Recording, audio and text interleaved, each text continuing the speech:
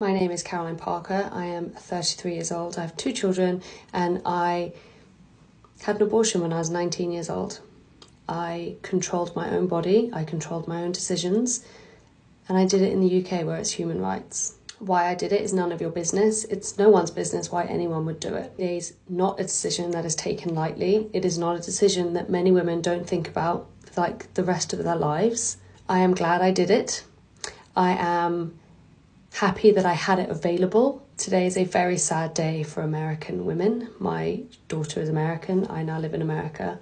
Um, and it's sad for my son as well that he is now going to be raised in a country where men control women's decisions. The unfortunate part of this is that women will always be a submissive role in our society as women are incapable of supporting each other and knowing that just because something is there, it doesn't mean that you have to do it. I see on a daily basis in my comment section how women have absolutely zero empathy for other people's situation and they cannot see past their own and what they want in their choices.